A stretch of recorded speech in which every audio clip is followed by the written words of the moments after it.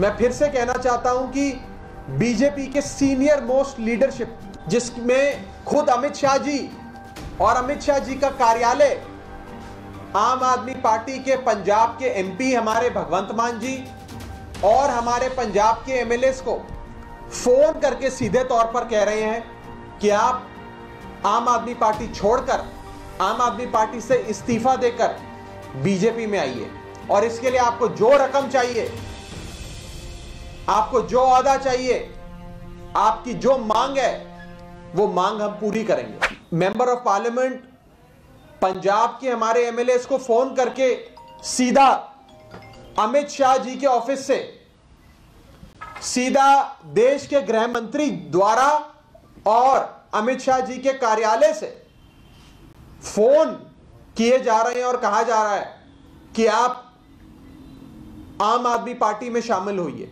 BJP को BJP में शामिल होइए, आम आदमी पार्टी को छोड़ दीजिए। मैं फिर से कहना चाहता हूँ कि बीजेपी के सीनियर मोस्ट लीडरशिप, जिसमें खुद अमित शाह जी और अमित शाह जी का कार्यालय, आम आदमी पार्टी के पंजाब के एमपी हमारे भगवंत मान जी और हमारे पंजाब के एमएलए को फ़ोन करके सीधे तौर पर कह रहे हैं कि आप आम आदमी पार्टी छोड़कर आम आदमी पार्टी से इस्तीफा देकर बीजेपी में आइए।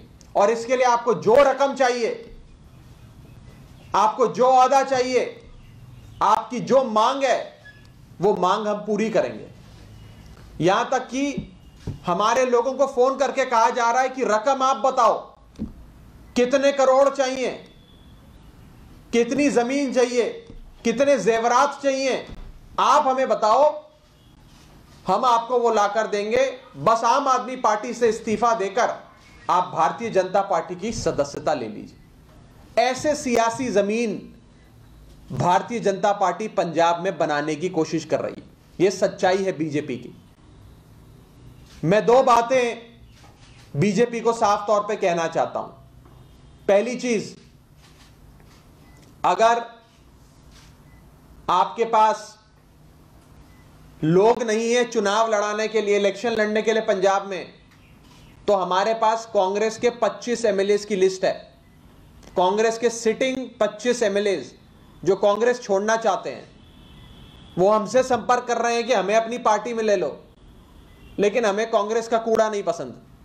हम उनकी लिस्ट आपको दे देते हैं, आप उन्हें अपनी पार्टी में शामिल करा दो। लेकिन हमारी पार्टी तोड़ना बंद करो। और दूसरी चीज़ मैं बीजेपी को साफ़ तौर पे कहना चाहता हूँ कि जो आप हमारे लोगों को फ़ोन करके कह रहे हो कि रकम बताओ, आपको क्या रकम चाहिए, जितना पैसा चाहिए आपको दिया जाएगा। अमाउंट कोट करो, फिगर कोट करो और आप बीजेपी में शामिल हो जाओ बस। मैं पूछना चाहता हूँ बीजेपी के पास कितना पैसा है। मैं पूछना चाहता हूँ भारतीय जनता पार्टी से कि आपके पास कितना पैसा है। कितनी रकम है आपके पास? क्योंकि जितना भी पैसा है आपके पास, कुल मिलाकर जितने भी संसाधन और पैसे आपके पास हैं, आप उस पैसे से, आम आदमी पार्टी की मिट्टी से बने एक साधारण से वॉलंटियर को भी, हमारे ऑर्डनरी से ऑर्डनरी वर्कर को भी खरीद नहीं सकते। हमारे एमएलए और हमारे एमपी तो दूर की बात है। मैं ये बीजेपी को साफ़ तौर पे कहना चाहता हूँ। चेतावनी देना चाहता हूँ कि आम आदमी पार्टी के लोग उस मिट्टी के नहीं बने कि आपके महल और आपके पैसे की चक्काचौंध देखकर आपके इन ऑफर्स के ल्योर होकर वो आम आदमी पार्टी छोड़कर आपकी भारतीय जनता पार्टी में आ जाए।